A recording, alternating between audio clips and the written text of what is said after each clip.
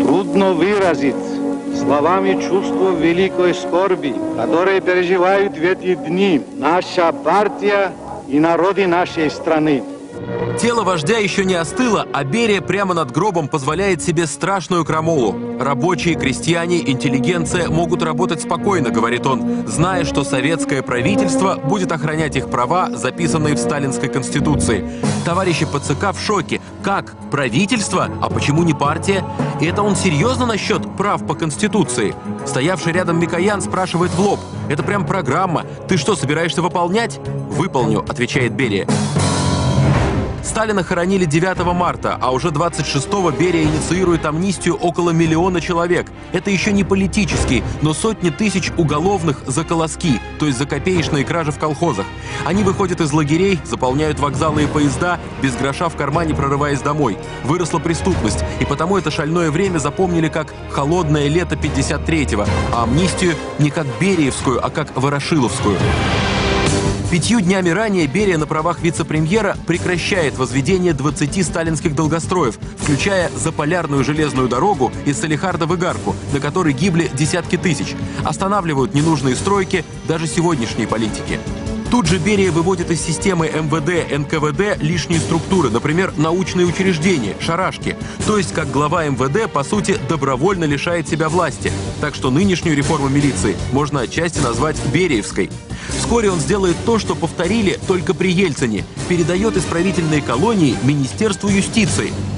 Из архивных документов следует, что Берия не инициировал, а свернул громкие сталинские репрессивные кампании. Ленинградское дело, дело врачей, малоизвестное дело военных и Мингрельское дело. Последнее логично, ведь он сам Мингрел. Но врачей-убийц, арестованных по доносу, спас просто так, не будучи доктором. В начале апреля он и вовсе издал приказ о запрете применения к арестованным мер принуждения и физического воздействия, то есть пыток. Правда, продолжали пытать еще не арестованных, но это лучше, чем ничего. Весной 53-го Берия идет дальше. Он требует прекратить, цитата, «бестолковое применение репрессий в Литве и Западной Украине». Поставьте местных, а не пришлых, на ключевые посты, и не будет никаких бандеровцев. На президиуме ЦК он говорит дословно «Мы там имеем вид оккупантов, а не народной власти». На внешнем фронте предлагает не делить Германию. Пусть, мол, она будет дружественной целиком, а не четвертью.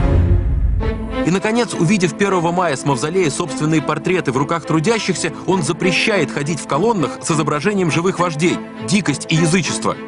Будет неправдой сказать, что Лаврентий Палыч Берий – цветок душистых прерий. Он и в репрессиях участвовал, меньше, кстати, чем Хрущев, и подчиненных материл, в отличие от Жукова, правда, по делу.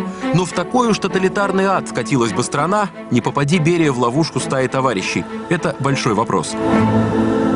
Это мнение, это мнение. Господин Петров господин Млечин, вы, конечно, скажете, что э, это все ерунда, никаких реформ не было. Нет, не совсем так. Он действительно начал кое-что менять. Он отпустил людей, это правда. Он арестовал кое-кого, но важно сказать вот что. Он завершил только те дела, которые были сделаны без его прямого участия, но не выпустил никого из тех, кто был посажен при нем. Это первое. И второе, и самое главное, и самое важное. Зачем он это делал? Он все это делал для того, чтобы завоевать популярность в республике. Никаких нет сомнений, что этот человек видел себя хозяином страны будущего. Авантюрист, интриган, лавкач, нахал, наглец, провокатор, мразь и вонючий клуб. Все это сказали о Берии всего лишь за один день суда. Сказали его вчерашние соратники Хрущев, Проклопает ООН Маленков, Молотов Андреев. Шпионаж в пользу Великобритании, стремление к ликвидации советского рабоче-крестьянского строя, реставрация капитализма, разврат. Расстрелять незамедлительно решил суд под председательством почему-то маршала Конева. Тут же на лестнице замкомандующего войсками Московского округа Батицкий достал трофейным пробелом и выстрелил Берии в затылок, о чем потом увлеченно рассказывал за бутылкой. В сущности, так повела бы себя любая хунта. А как все начиналось?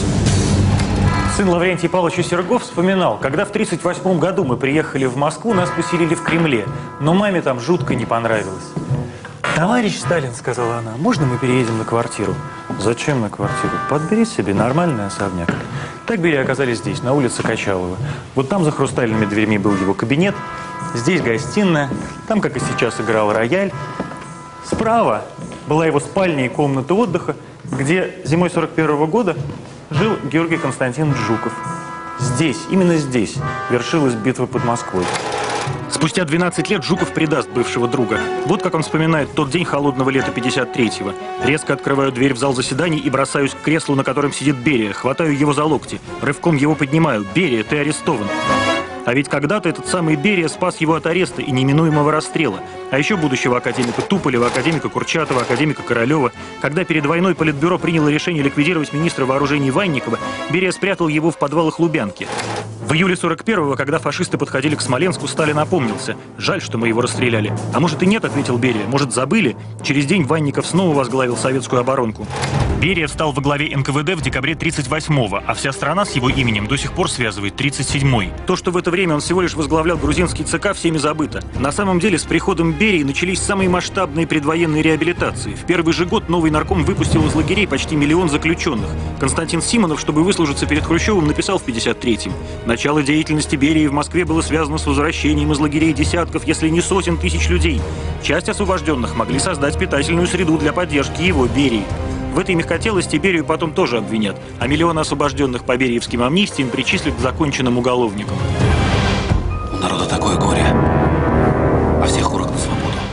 Он освобождал, его боялись. Он создавал стратегическую разведку, его обвиняли в сговоре с ЦРУ. Под его руководством в рекордные сроки Советский Союз получил ядерное оружие, реактивную авиацию, ракеты, шарашки. Эти санатории усиленного режима тоже появились при нем, заменив собой лесопилки и шахты. За 15 лет Берии удалось реформировать советскую военную промышленность так, что в 1961 году в космос полетел Юрий Гагарин, а не какой-нибудь там Джон Гленн. В отличие от Хрущева или Жданова, он умел добиваться, а не только добивать. За это его и ненавидели еще сильнее, рьяней, неотвратимей. Так в России ненавидят любого реформатора. До конца, до лютости. Будь то Александр II или Анатолий Чубайс. Какой только Чубайсовщины не придумывали и про Берию. Слухи о зловещем и таинственном особняке и его хозяине ходили не только в нашем коллективе. Ими полнилась вся Москва. Молодые женщины и девушки старались обойти этот мрачный дом стороной. Вспоминала сотрудница радиокомитета Нина Алексеева. Теперь служащие тунисского посольства, показывая эту комнату, говорят, здесь нарком внутренних дел пытал свои жертвы. Их подвешивали к потолку, кровь стекала в колодец, а он стоял на этом балконе и смотрел. Мы не знаем, пытали ли его. Мы даже не уверены, правдивы ли описаны детали его смерти, не представляем, где он похоронен и похоронен ли вообще. Дело засекречено до сих пор, а место вонючего клопа заняла серая моль.